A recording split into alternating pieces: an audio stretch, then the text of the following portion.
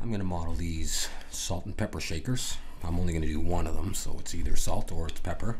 Probably copy it over so we have two of them in slightly different orientations as we can see here, and it's really simple to do. Uh, this is beginner stuff, all right, for beginners like me, and maybe like you. Uh, before I do that, though, I do want to say that I really do appreciate um, people that have been coming and, and watching my Blender videos um, and uh, and leaving me nice comments and and liking the videos. I, I never expected that. I'm doing this just for fun. Uh, I was asked what I'm using uh, these models for, and they are just for fun because my real um, passion, skill, if you call it that, is is for doing the music. But you know, seeing as I have a nine-month-old daughter, I really uh, I'm not able to do the music um, and, and put the energy and the effort into it and the, the noise. So uh, 3D is a lot quieter, and so uh, I'm doing this just for fun. I really do enjoy it, and I hope uh, I hope you do as well. And I'm going to move slowly, all right, uh, because I was asked to do that, and so uh, I am going to do what you what you need and what you ask for, all right. So this is what we're going to make, uh, very straightforward, and I can't guarantee that they'll be exactly the same, of course, um, but here I am in Blender 2.76. I haven't updated it for quite a while. Um, and I'm going to do this in front view, front ortho view. You could do it in, in side view, uh, in, in, right view, whatever. It really doesn't matter.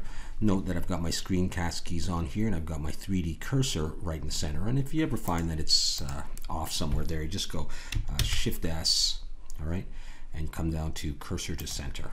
All right, so that means that any uh, object that I bring in is going to come right to the 3D cursor, and I want it uh, right in the center. All right, so I am going to go Shift A, and that's going to bring up the Add menu, and I'm going to choose the first selection here, Mesh, and I'm going to choose a cylinder. But before I click anything, I'm going to come over here to the vertices, and I'm going to change this to 8 and hit Enter. All right, so I'm going to have 8 vertices, so I'm just going to hold the middle mouse button and move it around. Now, um, I do want to do a couple of manipulations before we get started. I'm going to hit the N key to bring up the side panel, and I'm going to scroll down to MatCap. I'm going to click on there. I'm also going to click on Ambient Occlusion, which will give some shadow effects. And I click on the preview here, and I'm going to choose this um, shader. I'm also going to scroll up a little bit to where it says Display, open that arrow, and come down and turn off the grid floor by deselecting that checkbox. Hit N to close that. And now we are ready to go. And it will look more like the image I just showed you. I want to make this taller in the Z axis, so I'm going to go S for scale, Z, and I'm just going to pull on my mouse and make it that. Now, this these are going to be very large in the Blender world, but um, that's fine. All right, so what to do next? Well, I'm going to hit the Tab key and this brings up this i can't remember where i got this way to menu you know get my menus. I mean otherwise you'd be going down here and selecting you know edit mode which is essentially what i want to do.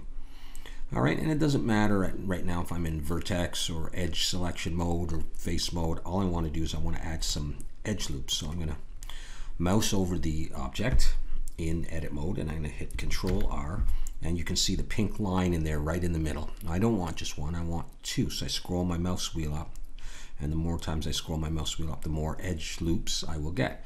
So I don't want to scroll it up, I want two, and I'm going to press the left mouse button to accept that.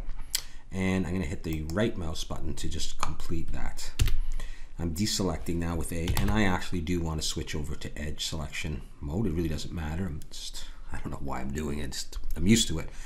And what I did to get that was, what did I do? Oh geez, now I'm thinking about it and I can't. Control tab. when I think too hard, sometimes I forget what the shortcut keys are. You just do them by reflex. I'm going to choose edge and I'm going to go um, shift alt and select that edge and shift alt and select that edge. I mean, they were selected before. I could have just done this, but you know, if you ever deselected and you want to get, if I just click there, I'm just going to get a piece of the edge. Deselect with A. So if I go shift A, I'll get the whole line okay, for both of them. And I want to move these up and down equally, so I select both of them and I can scale in the Z direction. So I'm going to go S, Z, scale in the Z, and pull away. And I'm going to move these up um, relatively towards the top and the bottom like that. Okay. Um, I want to add one more edge loop, and I'm so it's right there in the middle. I'm going to click the left, left mouse button to accept that, and I'm going to move it up to about there. Okay deselect. So we're now we're ready. Now I want to do this in vertex um, view. I want to see my vertices, so I've got that. Now what I'm going to do is I'm going to select by just clicking on every other vertice along this edge. So that one, and I'm going to turn it and shift select that one, shift select that one, shift select that one. So I've got just those. I'm going to pull these down a ways and I'm also going to scale them outwards but not in the Z direction up or down. So I'm going to hit S and then I'm going to hit shift Z which means it won't scale them in the Z direction every X and Y but not Z. So I'm going to go S for scale shift Z and you can see those those lines that just showed up the, the pinkish red or the red or salmon color whatever. Red and green that's the X and the Y axes but you don't see the blue the Z. I'm going to pull out just on those selected vertices. All right, hopefully that worked. Okay, just like that. Now, um, what I want to do is I want to create, let's go back to the image.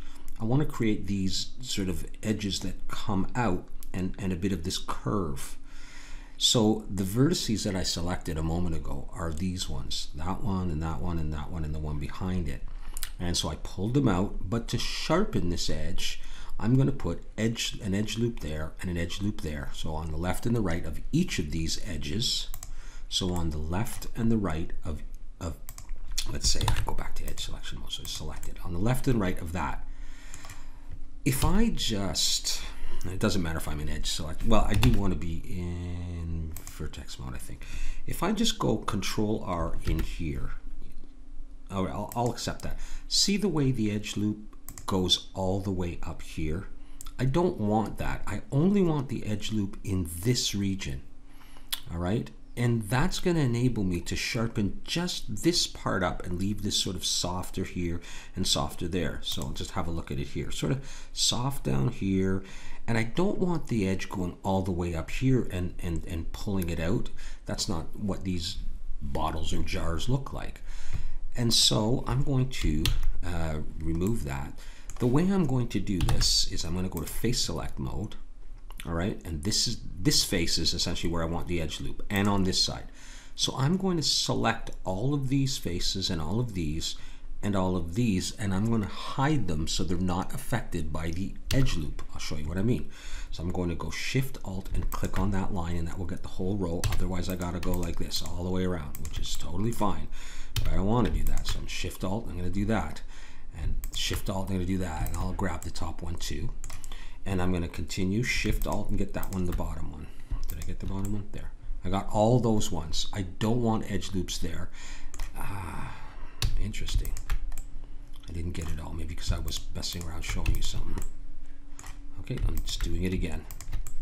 There. I don't want the edge loops to affect those areas, just where I pulled down the vertices. So I'm going to go H to hide them.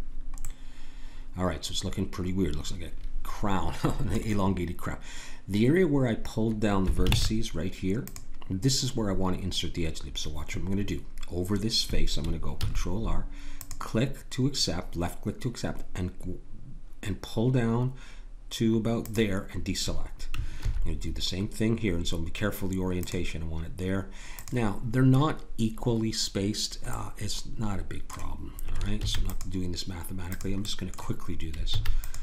Adding my edge loops on all those areas, the four areas where I pulled those vertices down and out, just like this. Last one. Okay, I'm going to deselect, and when I come back into object mode, it shows everything because it was hidden in edit mode. So I can just go Alt H and uh, unhide that and deselect everything and come back out. So it doesn't look like much. All right, so let's go ahead and add a subdivision surface. Okay, so come over here to the wrench, add my modifier, subdivision surface right here, and I'm going to switch the view to two. All right, still doesn't look like much. Now, it's looking kind of faceted here, so I'm going to hit smoothing, and I get this. So you start to see uh, this, but it still doesn't look very defined. Now, I am not going to hit apply, because as soon as I hit apply, and it applies that subdivision surface, I'm going to have tons of polys, and it's going to make it harder to edit this. So I'm not going to apply it, but I still will see uh, the effects. Back into edit mode.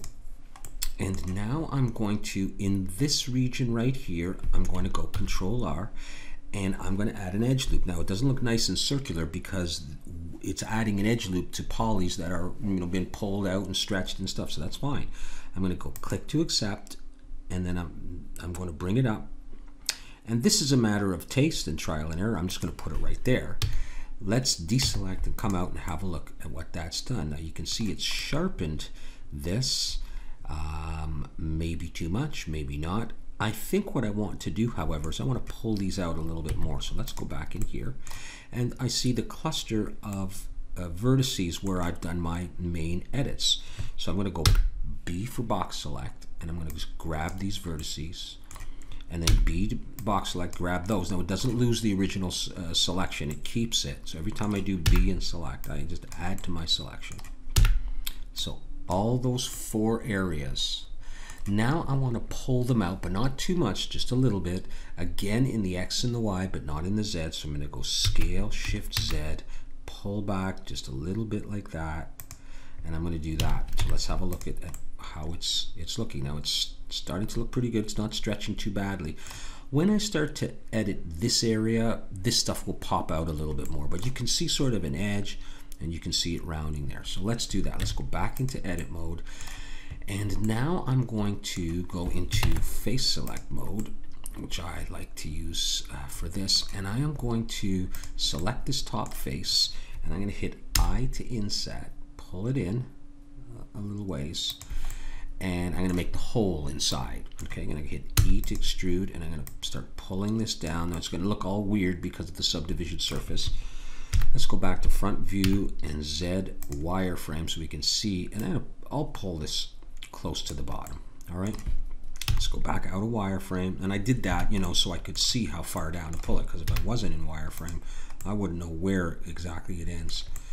So if I look back in here, um, I am going to, what am I going to do?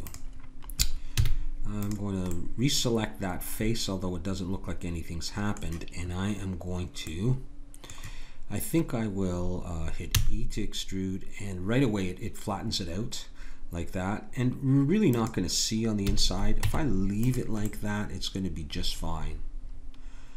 Okay so let's come back up here. And let's see if we if I select all these edges and you'll note that they don't look all flat like you see the outline of the polys here. It looks like a nice almost a rectangle a weirdly shaped rectangle but the, the lip actually looks rounded that's because of the subdivision surface. If I turn that off, and you can do that if you prefer to work with it off, but you want to have it, you know, ready to go. I'm just gonna, I'll turn it back on, I don't mind. I want to Shift Alt select that whole area there. And I think I'm going to grab the inside, these ones as well, and I'm going to shrink it in just a small amount. Now, I could just go Shift Alt and select that. If I don't do that, if I go let me see if I go plus. That's going to get the inside as well. So we will do it that way. Shift Alt select that, Shift Alt select that. Let's scale Shift Z just a little bit coming in like that. It won't even give an appreciable difference. Won't even really notice what I've done. So, all right. Uh, shift Alt on these guys. Now, that's a little bit too rounded right now. I want to do something else. So I'm going to hit E to extrude. And what should we do? pull them up a little bit. And uh, let's go E to extrude and scale it in a bit and pull it up. E to extrude and scale it in a bit and pull it up. Let's see if that's looking pleasing or silly. Okay, all right. Let's actually uh, fix that up a little bit. Uh, shift. Um, let's take these down just a little bit and let's put an edge loop in here and see if that does anything good for us. So it tightens things up. Well, that could be my lip right there. Not looking exactly like the diagram here, but uh, something. Okay, yeah, we'll work with that. Let's come down to the bottom and in face select mode, I'm going to select that I think I'll hit E to extrude and I'll scale in a little bit. Maybe I'll scale in a bit more. Bead extrude. I'm just going to put a small bump down there. Let's see what that's looking like. Okay, uh, maybe it's got to be a bit more, and then we'll mess around with it. Let's come down here like that, and let's um, put an edge loop in here. Pull it down, still adjust the shading a bit, and sharpen that up. So we'll get that kind of effect on the bottom. All right. Hopefully that's not too sharp of a corner. All right, well, now I could change the shape of this drastically and in interesting ways too. So let's put in sort of that, you know, view. If I come over to Simple Deform and I choose Taper, I can adjust this, you know, like like this, let's say. And you might like that, you might not. You can shut it off if you want to just go back to normal view. Hmm. Just for the sake of the tutorial video, I wonder if I should just leave it on. It's no great uh, effect or anything. Or should I not? Let's leave it on for now. Um, I'm, I am thinking about this area up here. Actually, if I take it off for now, I can see my polys better. I'm thinking that I might want to try an edge loop here, pull it out. Eh, no, I don't want to do that. Maybe I'll grab this edge here and see how it goes if I bring that up. No, I'm going to get that weird effect. I don't know. I'm going to do that. Okay. I like that a little bit better. And do I have that on? I have it off. Okay. All right. I don't even have to apply these. I can just leave it like that. Let's save. All right, let's work on the lid for this. So um, what I'm going to do is, um, I'll just do it from the beginning. I'm going to go Shift A, add a mesh, circle, and then bring it up near the top. There's different ways to do this, of course, as always and I want this to fit inside so I'll start with it roughly fitting go into edit mode select it and hit F to make a face okay so now I just have like a plane but it's in a circle E extrude and pull it up a ways like that okay so I'm building a cylinder essentially I'm now going to go control B to bevel and I'm going to pull back with my mouse like that down to about there, maybe a bit further. Then I'm going to roll my mouse up a bunch of times and it starts to round. And the more you roll your mouse, the more it rounds. So you're going to be adding a lot of polys, but I'm not worried about that. Okay, let's deselect for a moment and see what it looks like. Okay, so that's like, that would be my lid right there. Okay, so we'll do some more work on this and we'll see what we get. So I think I want my lid to have sort of a lip that fits inside there. So you can sort of pop this off, add the salt and pepper, or salt or pepper, or both if you like doing it that way. All right, so I'm going to come into face select mode. I'm going to grab that face. Oh, by the way, I'm going to hit, uh, I'm going to select all. I'm going to try Control N to see if any of my polys were flipped the wrong way. Okay, back to there. I'm going to hit I to inset and push my mouse in and that's going to create a little indent right there. Okay, a new face that's there. I'm going to hit E to extrude and I'm going to pull this Z arrow and I'm going to pull it down a little bit like that. Okay, looks like a little plunger that could go in. And I could leave it like that, but I'll do I'll do one other um, effect. Hit it. E to extrude, S to scale, just out like this. Not necessarily out as far as the original. And then E to extrude and pull it down. And I think that's good enough. Very very simple. Basic baby stuff. I shouldn't say that but control N just to see now these edges are, are too sharp so the way I'm going to deal with that is I'm going to bevel them by hand so I'm going to I went to the mesh select mode I'm choosing edge and I'm going to go shift alt and click that whole edge that's an, an edge I want to make smoother. And this one, and this one, all three of them at the same time I want to smooth. and bevel them. So I'm going to go Control B, pull on my mouse, and you can see we're starting to get a, a, an area there. And I'm going to roll my mouse up twice, maybe three times. Let's do three. And that will, to some extent, round those areas out. Now, it still looks very faceted. If I had smooth, it looks quite a bit better. You could then go in and add edge loops if you wanted to sharpen some of these corners up or these edges up. I really don't want to do that. Just want to see how well that fits. So that could go in there. So let's scale it a bit more. And it could push sort of all the way down to there, or maybe there, something like that. And that's how the lid would go on. Or maybe it would seal all the way down. You know, but I like to see a little bit of my work, so put it I like to put it something like that. Okay, so you just push the stuff on, you know, and, and that's it. Now, by doing it this way, I've created a solid object here. So when I try to poke holes into it, the holes aren't going to go all the way in so that you see the inside of the object. Had I done this, created this um, a different way, um, then you would have seen it empty inside. You don't need to for a simple model like this.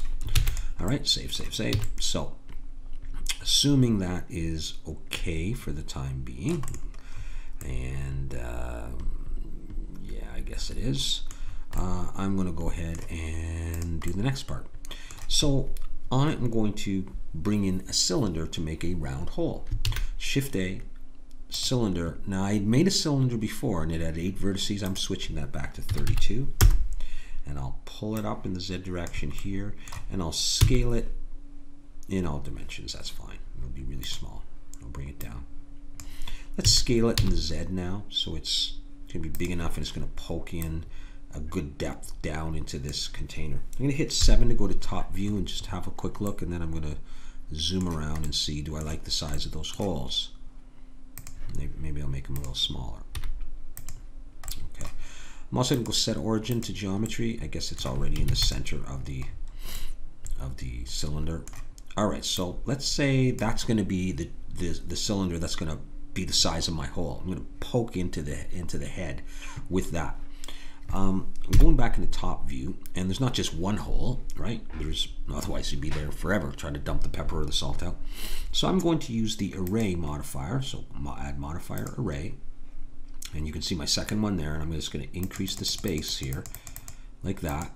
Okay, and I'm going to turn this up to I'm going to try four and I'm going to pull these back. And I know my center position is that my 3D cursor right there, so I can center these up. You know what? I'm going to go for five and go for broke. And that way I'm going to pull this and this middle one's going to go right there. So let's have a look at that. So five could come all out there. So that's that's great. Now, that's all centered up. So I'm going to go Shift D and I'm going to drag the copy out to here, but I'm going to switch this my count down to four. And now I'm going to center these as best I can just by eye. And uh, maybe we'll come out a little bit. Shift D, and I'm going to bring them over to this side. Now I'm not doing these, I'm not mirroring these. This is not going to be the exact, exactly, you know, equidistant kind of thing. Let's go Shift D and do it again. And let's bring this down to, let's try two and see how odd that looks. Doesn't look odd at all. Shift D to copy and bring the two up there. And I think that's all of the holes that we need. All right, so I'm going to select that, those ones and hit apply for the array. I'm accepting the array for all of these, except, and then I think I'm going to grab all of these and go Control J to group them or join them all together. So it's all one thing. Now you'll notice that the origin is way over here on the last thing I selected. I can choose set origin to geometry and it pops it right back in the center of this whole mass. So I'm going to push these down nicely. Those will make my holes. I'm going to save before I do this, and I'm going to select the head, and I'm going to perform a Boolean. Add modifier, Boolean, change the operation to difference, and the object I want to do my cutting with is the cylinder group. Now it's going to look all weird here. That's okay. Hit apply find your cylinders, and I know it's worked, so I'm just going to delete them. Otherwise, I wouldn't delete them. I would just hit H to hide them. All right, Alt H to bring them back. I'm going to delete them. Now this looks really bad, and so what I'm going to do is, that's because I've got the smoothing on at the same time. If I don't, it doesn't look so bad. I'm going to come over to, can I use edge split just out of curiosity? I could do that. Let me try another way. Let me see if this would work. Auto smooth. Well, you see, the problem with that is that changes the smoothing on the whole thing. So I don't know if maybe edge split does uh, as well. So I'll just use uh, edge split. Hopefully all my other edges are okay. I don't need to apply it yet. Let's pull this up and see. Yeah, it's still looking fine. Uh, I'm going to apply it now. And that is that. If I do this, I just found it was a little bit tall. I don't know. I kind of want these stubby, stubby shaker type things. What do you think? Okay. So if I take this one, uh, what can I apply? Oh, I apply the um, the taper. All right. I don't need to apply this the um, subdivision surface at this point. Um, but if I take this Shift D to copy the whole thing over and rotate in the X like like this, I don't know why, and rotate in the Z just so we get uh, something to look at. Then um, we're just basically spending time now. Click on the, the camera because I'm going to render. I'm going to switch this up to 100%, but I'm just going to do a um, an OpenGL render. I'm going to hit the camera down here. See it says OpenGL render and the active viewport. I'm just going to do that, and that'll render it nice and large. And that's it. Those are uh, the shakers. Now you could uh, get rid of that, and, and, maybe on this one, maybe I want the lid up to, to, to just show, you know, how it connects. Maybe I don't want it up that much. I don't know you know, something like this, and then, and then I do my render. So it looks, a, you know, just a little different. Anyhow, that's my, those are my salt and pepper shakers.